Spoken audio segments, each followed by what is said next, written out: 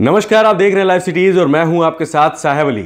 लालू प्रसाद यादव को लेकर के आज सुप्रीम कोर्ट में अहम सुनवाई होनी है। दरअसल सीबीआई की अर्जी पर सुप्रीम कोर्ट में बहस होनी है और उसको लेकर के सियासत एक बार फिर से गर्म है। आपको बता दें कि सीबीआई ने अर्जी दाखिल की है सुप्रीम कोर्ट में, जिसको लेकर के आज बहस होनी है। तो कहीं ना कहीं लालू प्रसाद यादव के लिए बड़ी खबर है चारा घोटाला मामले में। जेल में बंद राष्ट्रीय जनता दल के अध्यक्ष लालू प्रसाद यादव की जमानत के खिलाफ सीबीआई की याचिका पर सुप्रीम कोर्ट में आज सुनवाई होनी है। दरअसल देवघर ट्रेजरी घोटाले से जुड़े मामले में सजा की आधी अवधि खत्म होने के बाद झारखंड हाई कोर्ट ने हाल ही में लालू यादव की जमानत के आदेश दिए थे। मामले की जाँच एजेंसी केंद्रीय जाँच ब्यूरो यानी कि सीबीआई ने हाईकोर्ट के आदेश को सुप्रीम कोर्ट में चुनौती दी है। तो आपको याद होगा झारखंड हाई कोर्ट में जो आ, सजा की आधी अवधि, यानी कि सजा के आधे वक्त को पूरा कर लेने के बाद, और लालू प्रसाद यादव की खराब सेहत का हवाला देते हुए जमानत याचिका दाखिल की गई थी, जिसके बाद झारखंड हाई कोर्ट ने उनको जमानत दी थी। अब उसी जमानत पर सुप्रीम कोर्ट में आज सुनवाई होनी है, क्योंकि सीबीआई ने हाईकोर्ट के फैसले को चुनौती दी है। आपको बता दें कि चारा घोटाला मामले में राजद सुप्रीमो साल 2018 में आईपीसी के तहत सात वर्ष और भ्रष्टाचार निरोधक कानून के तहत सात वर्ष की सजा उनको मिली थी। कोर्ट ने उन पर साठ लाख रुपए का जुर्माना भी लगाया था।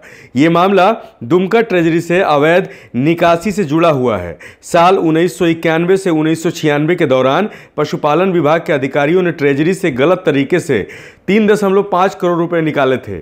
उस समय लालू यादव बिहार के मुख्यमंत्री थे। तो फ़िलहाल लालू यादव झारखंड में हैं, रांची के रिम्स अस्पताल में हैं, इलाज करवा रहे हैं और सज़ा याफ्ता हैं। उनको जमानत मिली है झारखंड हाई कोर्ट से आधी अवधि पूरी कर लेने की वजह से, लेकिन अब उसी फैसले को सीबीआई ने सुप्रीम कोर्ट में चुनौती दी है। अब देखने वाली बात हुई कि सुप्रीम कोर्ट जो है, वो सीबीआई की अर्जी पर सुनवाई के बाद क्या कुछ कहता है? क्या लालू प्रसाद यादव को राहत मिलती है या फिर सुप्रीम कोर्ट सीबीआई की अर्जी को मंजूर कर लेता है? ये तो देखने वाली बात होगी, लेकिन आपको बता दें कि लालू चारा घोटाला मामले में जेल में सजा काट रहे हैं। बीते दिनों झारखंड हाईकोर्ट ने देवघर कोषागार मामले में लालू की सजा पर बहस की थी।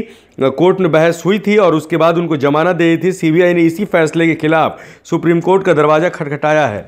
तो देखने वाली बात हुई कि क्या सीबीआई के इस अर्जी पर सुप्रीम कोर्ट क्या कुछ कहता है? लेकिन अगर हम बात करें लालू प्रसाद यादव की तो लगातार उनके वकीलों की तरफ़ से झारखंड हाई कोर्ट में ये दलील दी जाती रही है कि उनकी सेहत ठीक नहीं रहती है, उम्र काफ़ी हो चली है और अब उनको जमानत दे दी जानी चाहिए। लालू प्रसाद यादव की तरफ़ से कई बार ये कोशिश की जाती है कि उनको जमानत मिल जाए, लेकिन उनको जमानत मिलती नहीं है। आपको बता दें कि झारखंड में जब से महागठबंधन की सरकार बनी है, तब से सरकार का लालू प्रसाद यादव की तरफ़ झुकाव थोड़ा ज़्यादा दिखने लगा है।